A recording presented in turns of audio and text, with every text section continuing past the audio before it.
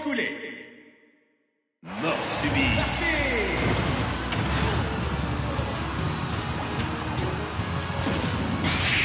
Parti